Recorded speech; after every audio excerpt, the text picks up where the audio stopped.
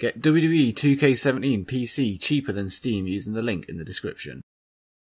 Hello, welcome back to Curb City, where today I am releasing yet another mod for WWE 2K17. And this one will change Baron Corbin's t-shirt to the wolf design that he's been wearing recently on SmackDown Live. And it and this ensures that he wears it under his entrance jacket and also makes it so he wears it during the match. And some people will say, well, you can just do this in Creation Suite, but this saves you using up a created wrestle slot.